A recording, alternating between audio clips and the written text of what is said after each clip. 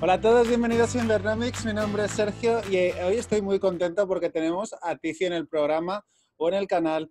Y para mí este vídeo es muy importante porque me gustaría empezar a entrevistar a gente y que nos cuente sus historias. Y en este caso va a ser muy especial porque ella está en Australia o Nueva Zelanda y nos va a poder explicar cómo funciona ahí también el mercado. Entonces lo que vamos a ver hoy básicamente será su historia, quién es ella, cómo ha ido creciendo personalmente. Para mí esta parte es muy importante.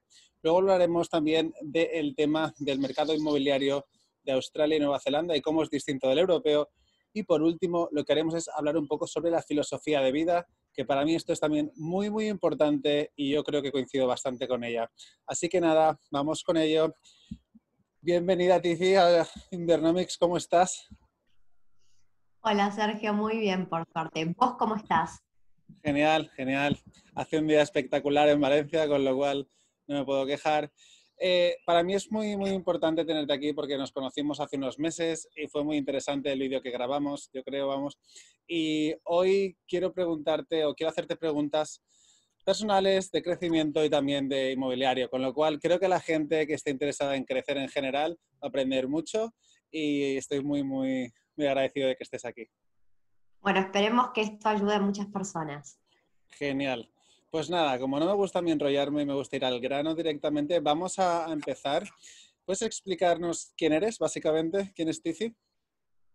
Sí, perfecto. Bueno, mi nombre es Tiffy Rubinat, soy originalmente de Argentina. Hace seis años me mudé a Australia y en el 2018 arranqué un proceso de, leer muchos libros para encontrar mi propósito en la vida y, hacer un cambio. Estaba, venía trabajando hace muchos años para una empresa, la misma empresa que trabajaba en Argentina, me trasladó a Australia y me dio muchísimas oportunidades, pero yo no estaba contenta con mi trabajo. Era un buen trabajo, un buen sueldo, no me podía quejar, pero no estaba contenta.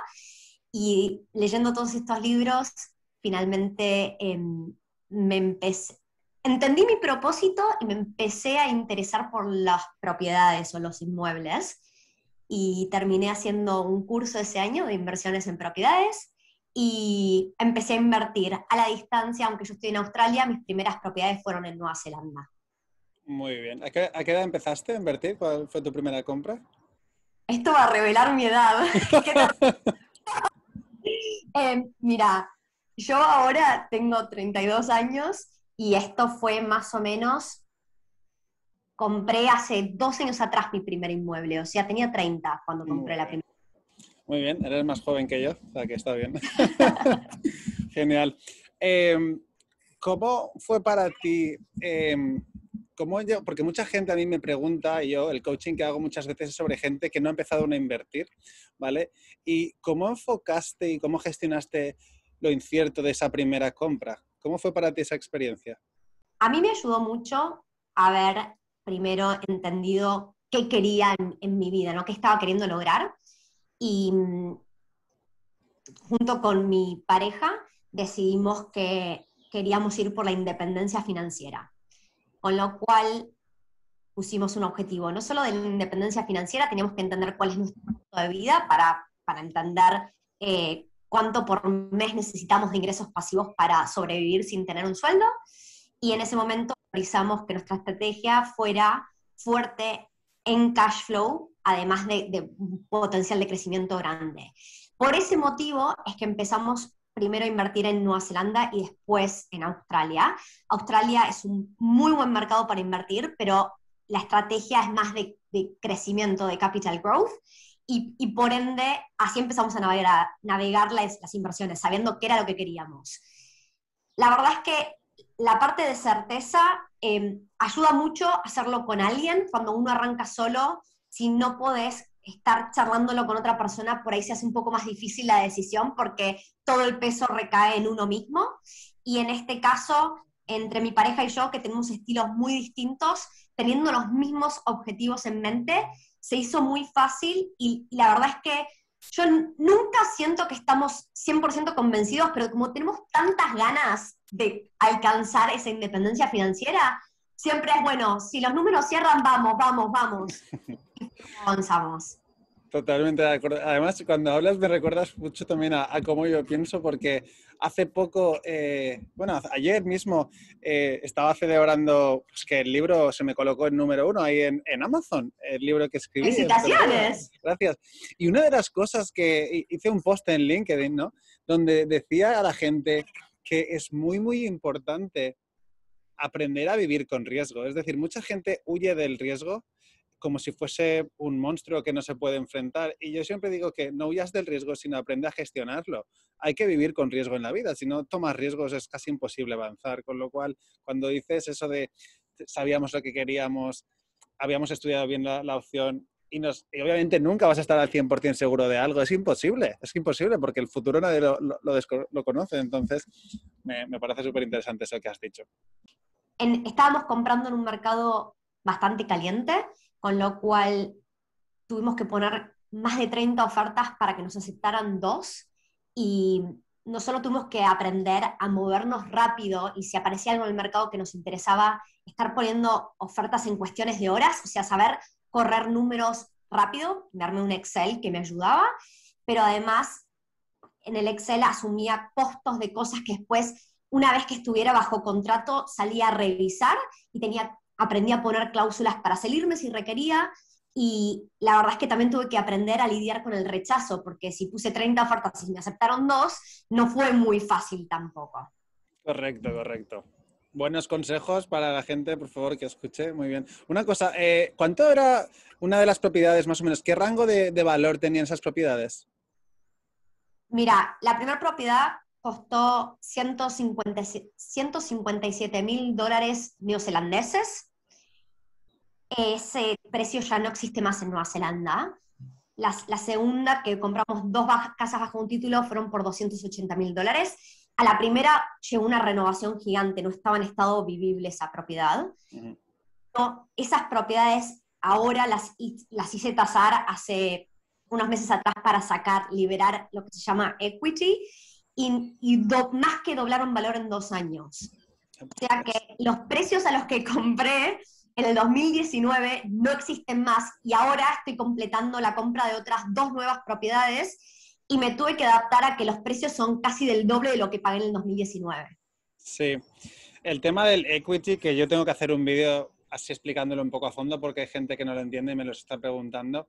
Eh, es muy importante. Yo siempre digo que para alcanzar la independencia financiera rápido necesitas un boom inmobiliario. Aquí en España no tenemos eso, pero yo quiero estar preparado para cuando ocurra, porque sé que ocurrirá. Y aquí en España ahora, pues las tasaciones, o sea, ampliar hipotecas se puede hacer, pero no es tan fácil como en Australia, no, no se aprecia todo tan rápido. Y eso sí, si coges una década buena y estás bien posicionado, es, es ya muy fácil, porque ya es extraer equity. Voy a decir que, que tuve mucha suerte, pero yo no puedo pensar que mis propiedades van a doblar en valor siempre cada dos años. Me ah. pasó algo muy único, me tengo que acostumbrar a que crecimientos del 2, 5, 8% son buenos crecimientos anuales y que esto es un juego de largo plazo. Mm. Y yo ver ciclos, ciclos de entre 7 y 10 años, ¿no? Yo no estoy comprando para salir a vender propiedades, yo quiero acumular propiedades. Me puede llegar a pasar que en algún momento tenga que reestructurar algunos de mis inmuebles porque crezco como inversora y, ahora tengo estrategias un poco más avanzadas, pero mi idea es acumular. Genial, muy bien. Así que, bueno, ojalá en España tengamos esa suerte y, podamos tener un boom. Por lo menos yo, yo espero que ocurra. Genial. Eh, ¿Tú cómo, cuál es tu opinión sobre el apalancamiento cuando estás empezando? A mí me parece que el apalancamiento es súper importante, es una temática que creo que poca gente realmente entiende cómo funciona el apalancamiento y uno crece, yo por lo menos me pensando que la deuda era mala, viniendo a un país como Latinoamérica donde hay mucha inflación, las tasas de interés son ridículamente altas, es difícil, entonces como que la deuda es mala palabra mientras que cuando llegué a Australia entendí que la deuda me puede llevar mucho más lejos. Si yo, yo acá en Australia puedo pedir préstamos, y en, Nueva Zelanda es distinto, en Australia puedo pedir préstamos del 80 y o 90% del valor del inmueble. En Nueva Zelanda la ley acaba de cambiar hace un mes y solo se puede pedir, si es una inversión, hasta el 60% del valor del inmueble. Eh, esto tiene mucho que ver con políticas que Nueva Zelanda está sacando últimamente para intentar de frenar el crecimiento de precios. No necesariamente estas políticas que vienen tomándose un tiempo, cada una de las políticas que pensaron que iba a funcionar viene teniendo el efecto opuesto al que estamos buscando, pero en, Nueva Zelanda y en Australia hay políticas distintas de préstamos. Muy bien, muy bien. Sí, aquí, aquí hay un, lío también. Ahora están saliendo bancos que quieren financiar más, lo cual es bueno para, que haya crecimiento, pero bueno, hay gente que se opone por eh, la burbuja que tuvimos y bueno, ya veremos cómo, ocurre todo. Una pregunta, eh, ¿cuál fue el error o algo que habrías hecho distinto en tu primera inversión? Mi primera inversión fui por un inmueble que requería una renovación muy grande en un mercado muy caliente donde uno de, los problemas que tuve que enfrentar es que casi todas las personas que podían hacer esa renovación, yo estaba a la distancia, yo estaba en Sydney y la renovación era en una ciudad en Nueva Zelanda, casi todas las personas estaban em, con mucho trabajo y muchos meses de espera para poder hacer una renovación. Y de este lugar donde hice el curso, me, mi mentor me recomendó un builder que unos amigos míos también habían usado en esa ciudad. Este builder era bastante informal y cada vez que yo le pedía que me pasara un estimado, siempre había una excusa, lo mandaba eh, en un Excel, no, no, había nada formalizado. Y una de las cosas que, hizo y que nunca más volvería a hacer es, en vez de tasarme eh, renovación por ciertas cosas completadas, por ejemplo, nuevo baño, nueva cocina, nuevas alfombras, me empezó a poner horas. Entonces, aunque me dio una tasación por completar cosas que no se entendía si eran más impuestos, menos impuestos, ya los incluía o no, cuando me mandaba em, para que yo pagara los recibos, me los mandaba con horas. Y yo siempre lo perseguía todas las semanas, pero me puedes dar una reconciliación acerca de cuánto venimos gastado, en qué parte estamos, y no me contestaba y siempre me daba vueltas. Y para lo último, una renovación que él me había mandado que iba a costar 50 mil dólares, y yo dije, espera, yo ya sé cómo va un proyecto, eh, voy a poner 10 mil dólares adicionales porque las cosas pueden ir mal, entonces me había cubierto para que costara, perdón, tenía que costar 55 y yo asumí 65, me terminó con 80 mil dólares. Con lo cual, ese fue uno de mis grandes aprendizajes, al, final terminó siendo una mala persona que nos robó montones de problemas. A raíz de eso, que en el momento cuando uno vive un problema así, no se puede imaginar cómo puede venir algo mejor a raíz de eso, pero terminamos encontrando un nuevo builder que fue excelente, que lo usamos para varias otras renovaciones y que tan bueno que yo en su momento daba un, curso y lo, lo, daba digital en vivo y mi builder se sumó a mi curso y la verdad es que ahora él, hasta es como mi, mi, segundo par de ojos, además de mi agente inmobiliario que administra las propiedades, con lo cual ese fue mi aprendizaje, yo no pago por horas, si no hay un estimado formalizado con trabajos completos y al día no pago la siguiente, siguiente, no hago el siguiente pago hasta que no se reconcilien las cosas me puse dura en ese momento, pero no lo suficiente como para haber lidiado con ese problema.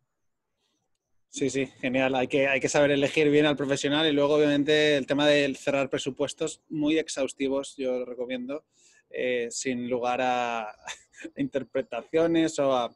Hay que ser muy, muy firme porque yo tengo la experiencia de también de... Es una tontería, pero una, una obra con una cocina me decían que algo no se podía hacer, que algo no se podía hacer y yo era muy joven y le dije a mis padres, mira, que me dicen que no se puede hacer. Y me acuerdo que me dijo mi madre, que no se puede hacer, déjame que hable con ella. Y mi, mi, madre se puso una hora a hablar con el hombre y tal, y al final me dijo, sí que se puede hacer. Y ahí aprendí yo que hay que ser muy insistente y muy firme. Lo que pasa es que cuando uno no conoce técnicamente ciertas cosas, pues claro, tiene que confiar ¿no? en el profesional. Así que hay que elegir buenos profesionales y cuando los encuentres, no dejarlos marchar. en cuanto a, esta inversión que entiendo que fue, bueno, obviamente una compra para hacer una reforma integral, em, hay gente que obviamente es una forma de, invertir ¿no? y, y es bastante rentable, pero ¿aprendiste algo de ese tipo? Porque mucha gente yo creo que a veces lo ve que todo es bonito, ¿no? Pero ese tipo de inversión requiere tiempo, requiere peleas. Eh, ¿Ha cambiado algo desde que hiciste esa inversión en cuanto a tu filosofía o, tu perspectiva de ese tipo de inversión en concreto? Cuando yo arranqué, arranqué haciendo lo que me enseñaba ese curso en particular. Y después me di cuenta que es una de las muchísimas estrategias que pueden funcionar. Entonces, la estrategia de cash flow en Nueva Zelanda tiene lo bueno y lo malo, y no hay ninguna inversión perfecta. Entonces, primero que requiere de alguien que tenga una pasión y esté muy arriba de sus propiedades. La estrategia es invertir en ciudades tier 3, la llamo, y suburbios tier 3, o sea, probablemente ni vos ni yo querríamos vivir en esa ciudad y suburbio. Y lo que tiene es que son propiedades bastante baratas para, en comparación al alquiler que se percibe, pero con ello traen muchísimos problemas de calidad de inquilino. Entonces, tenemos mucha rotación, eh, es muy buen cash flow, pero también el cash flow en papel y el cash flow real son distintos, porque cada vez que se va un inquilino hay que estar arreglando, por ahí hay una semana de diferencia entre que uno se va y otro entra, y requiere muchísimo tiempo, energías y esfuerzo mío por, por no ser de tan buena calidad ese inquilino.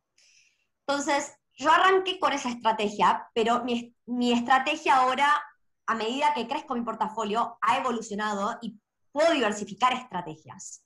Entonces, yo ahora estoy invirtiendo en Australia y en Australia estoy yendo por eh, ciudades tier 1, como si fueran las grandes ciudades. En este caso, acabo de comprar un inmueble en Melbourne. Estoy comprando algo que no existe y voy a salir a construir. O sea, es un paquete donde compro la tierra y la construcción como uno. Y en realidad me la estoy jugando a una apreciación mucho más fuerte en una ciudad que crece muy rápido, cerca de una estación de tren, un lugar que sigue siendo para lo que es Melbourne y los precios de Melbourne el lado más barato para que el cash flow meramente se pague solo, pero no voy a decir necesariamente que esa propiedad pone mucha plata en mi bolsillo, sino que yo ya entiendo que con esta propiedad voy a hacer mucha más plata por la apreciación, en realidad. Perfecto. Hay que, sí, eso lo comento bastante, que hay que tener en cuenta que no es todo el cash flow, que el cash flow proyectado, si compras en inmuebles de baja calidad, no, no, van a, no va a salirte como te sale en el Excel. Y aparte el tema de la gestión, lo comenta bastante también, es muy importante. Con lo cual, em, vale, aquí pregunta importante. Eh, ¿Cómo se extrae equity en una propiedad en Australia o Nueva Zelanda y cómo es el proceso? Perfecto. Voy a dar un ejemplo un inmueble que, estoy, que es el que acabo de hablar de Melbourne, y cuál es mi estrategia. No sé si se va a materializar, pero es lo que yo planeo hacer o cruzo los dedos para que suceda. Estoy comprando una propiedad que cuesta 450 mil dólares australianos. Yo ahora al banco le estoy pidiendo un préstamo por el 80% del valor del inmueble, o sea, yo estoy poniendo un depósito del 20% préstamo que le estoy pidiendo al banco, más o menos, es de 360 mil dólares. Ahora, cuando esta propiedad que no está construida se termina de construir, el banco ya me dio el préstamo, ya me lo aprobó, estamos ahí en proceso terminando la transacción. Cuando se termine de construir, de acá a unos meses, un año, yo realmente creo que esa propiedad que compré por 450 mil dólares, al momento de terminar la construcción, sin contar con el crecimiento natural del mercado ni nada, yo creo que ya va a estar valuada en 500 mil dólares. Entonces, yo en ese momento puedo ir y pedirle al banco, puede ser el mismo banco o un banco distinto, pero puedo ir a pedirle un nuevo préstamo. Y de vuelta, puedo pedir por el 80 o el 90% del valor del inmueble. Acá en Australia, si pido un préstamo por el, más del 80%, me cobran un seguro adicional. Entonces yo no lo quiero pagar este año y el año que viene. Entonces lo voy a pagar el año que viene porque yo sí quiero apalancarme lo más posible. Entonces el año que viene, asumamos que esta propiedad cuesta 500, la evalúan en 500 mil dólares, y yo le pido al banco un préstamo por el 90% y pago ese seguro que me va a costar más o menos 6 mil dólares adicionales. Entonces, el banco me va a prestar el 90% de 500 mil dólares, que son 450 mil.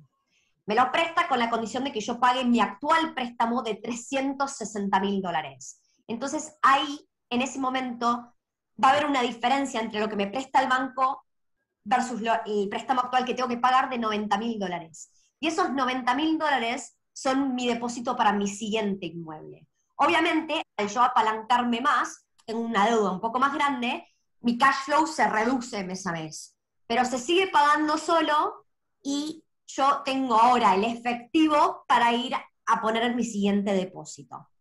Exacto. Sí, básicamente eh, el extraer equity, para que lo entendáis, ya haré un vídeo, pero es como realmente, sería como utilizar tu casa como una hucha y utilizar todo ese dinero que está atado para sacar parte del jugo y utilizarlo para comprar otra propiedad. Cosa que, como he dicho, en un mercado que se aprecia es una estrategia necesaria para que te hace crecer mucho más rápido que si tú tienes que ahorrar cada vez el depósito o la entrada. Sería muy complicado. que ahorrar, ahorrar 90 mil dólares no es nada fácil. Entonces, yo ahora lo, lo que estoy haciendo en este momento es, de los tres, estoy muchas cosas haciendo al mismo tiempo, pero estos tres inmuebles, uno en Australia y dos en Nueva Zelanda, los estoy comprando al mismo tiempo. Entonces, el de Australia fue con ahorros y pedirle plata a una, a una amiga, mm. que le paga un interés por esa plata que me presta para el depósito. Mientras que las dos propiedades que se están comprando en Nueva Zelanda 100% equity. No tuve que poner nada de plata encima para comprarlas porque es basado en la, nueva tasación del valor que, que, me dieron de esas propiedades versus hace dos años atrás. Ahora, nada es perfecto. Yo en realidad quería traer la plata de Nueva Zelanda a Australia, pero los bancos de Nueva Zelanda me dan un nuevo préstamo si uso esa plata para comprar un inmueble en Nueva Zelanda. No es que yo ese equity puedo usarlo para irme de viaje o traerlo acá o hacer cualquier cosa, no hay restricciones. Pero bueno, por lo menos puedo seguir evolucionando mi portafolio. Claro, claro.